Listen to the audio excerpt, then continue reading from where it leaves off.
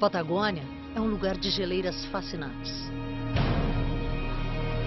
Atraem o olhar de milhares de visitantes que com surpresa percebem que elas, por maiores que sejam, se movimentam e deixam marcas por onde passam. Nem as rochas resistem ao gelo. Quando o gelo sai, nascem as plantas, mas estudos têm comprovado que elas também estão sofrendo com as mudanças no clima. Como há diminuição de chuva nesta zona, elas estão migrando um pouco mais acima, buscando água e temperatura. Olhando para esse cenário branco, azul e transparente, cientistas do mundo inteiro tentam entender o ritmo do degelo e prever o futuro do clima. E eles têm uma medida. A maioria das geleiras se encolhe em média um metro a cada ano. Um dos motivos é a diminuição na quantidade de chuvas.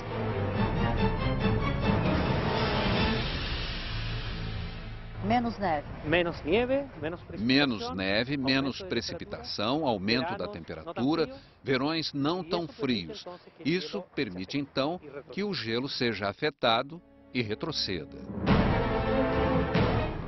Menos chuva e mais calor. As geleiras não resistem a essa combinação. O glaciar Balmaceda, um dos mais importantes do Chile, já foi muito maior. O gelo rodeado por cascatas que se derramam sobre o lago não é só uma visão bonita, mas também um sinal de alerta. Aqui a gente percebe claramente o efeito do clima no gelo. Todo aquele gelo azul que a gente está vendo lá em cima encostava na água em 1970. Agora, olha só o paredão de pedra que se formou. Dezenas de quilômetros adiante, em Torres del Paine, também no Chile, um vale de areia tem ao fundo o Lago Grey, um dos mais profundos da Patagônia, com 550 metros. Sobre as águas, além dos icebergs, uma rocha enorme. É a Nunatak, que corta a geleira em duas partes. Essa é uma imagem que há 100 anos não existiu. Nunatak ficava embaixo de uma montanha de gelo que derreteu.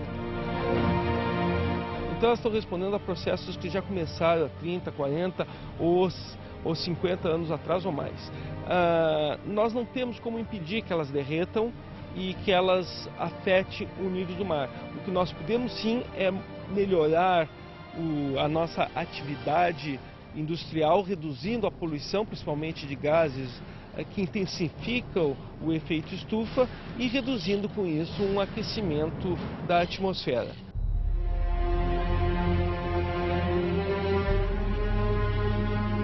Cuidar do gelo e das geleiras é quase que uma obrigação sagrada.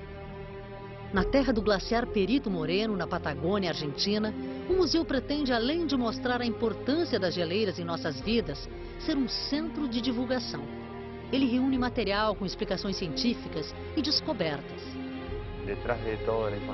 Por trás de todas as informações que temos no museu, há uma equipe de glaciologistas, alguns com mais de 40 anos de pesquisas na Patagônia.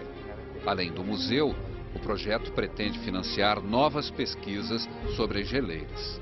O Museu de Gelo é também um espaço de reflexão. Aqui, entre tantas fotografias e informações sobre os glaciares, um relógio nos faz pensar sobre o tempo e no quanto ele é curto.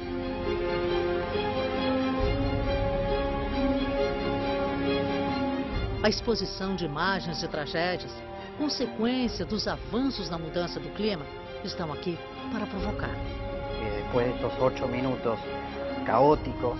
Depois de oito minutos caóticos com imagens sobre mudanças climáticas, a pessoa se sente chocada com o que acaba de ver. E esta é a intenção: fazer com que as pessoas parem e pensem, que reflitam. Às vezes é necessário que os países mudem, mas a mudança tem que começar por nós mesmos. O cambio tem que começar em nós mesmos.